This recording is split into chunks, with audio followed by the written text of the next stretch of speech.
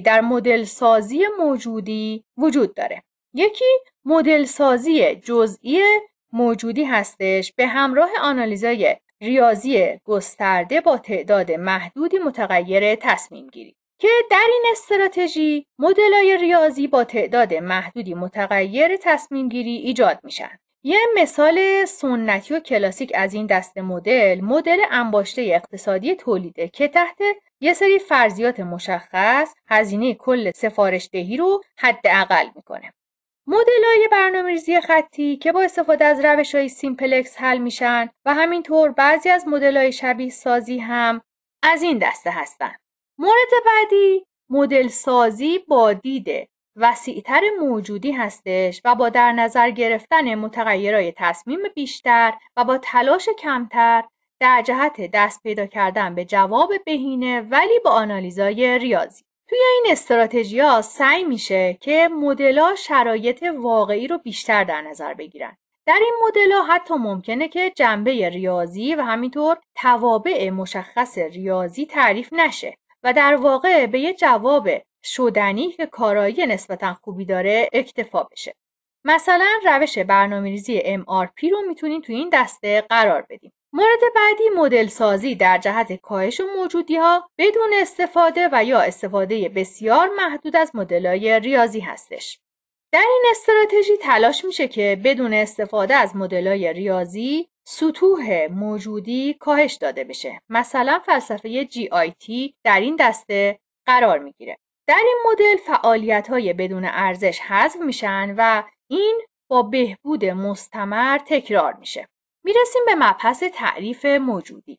صرف نظر از معنی لغت موجودی اون چیزی که توی ادبیات مدیریت موجودیا و مهندسی صنایع از این واژه برداشت میشه به این صورت هستش. موجودیا عبارتند از اجناس، مصالح، مواد و قطعه هایی که ذخیره میشن تا در امر تولید، فروش و اداره صنعت مورد استفاده قرار بگیرند. توی این تعریف از واژه مصرف استفاده میشه و بنابراین داراییایی مثل مثلا ساختمان، زمین، ماشینالات و حتی مبلمان اداری هم جزء موجودی ها قلمداد نمیشن. طبق این تعریف کالایی که در خط تولید در جریان هستش با عملیاتی که روی اون انجام میشه و جزء فراینده موجودی محسوب نمیشه مثل مثلا نفت در خط لوله رو می‌تونیم براش مثال بزنیم انواع موجودی ها موجودی ها رو میشه با توجه به شرایط که توی مسیر تولید قرار دارن به پنج تا گروه تقسیم کنیم.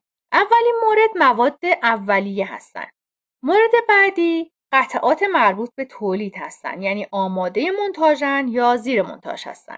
مورد بعدی قطعات نیمه تمام هستند که اینا توی مسیر تولید قرار دارن که قطعات بین کارگاهی و همینطور کالاهای نیمه ساخته رو اینا شامل میشن. مورد بعدی محصولات تمام شدن یا همون محصولات نهایی و مورد آخر هم سایر مواد و قطعات رو شامل میشه که اینا همون مواد غیر مستقیم و ملزومات رو شامل میشه. نکته هم که باید بهش اشاره بکنیم اینه که هر کدوم از این موجودی هایی که اینجا اشاره کردیم برای مصرف، فروش و یا تبدیل نگهداری میشن. حالا اولین موردش رو اینجا توضیح میدیم. مواد اولیه مواد اولیه نباید با مواد خام اشتباه گرفته بشه. با این وجود بعضی از مواد اولیه که در کارخونه هستش می‌تونه ماده خام هم باشه. مواد خام به اون دسته از مواد گفته میشه که مستقیما از طبیعت برداشت شده و همینطور تغییرات فیزیکی یا شیمیایی قابل توجهی هم روی اونا انجام نشده.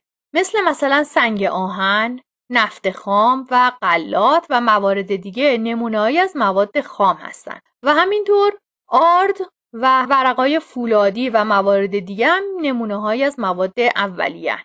مورد بعدی قطعات مربوط به تولید هستش که اینا قطعاتی هستند که بر روی اونا کلیه عملیات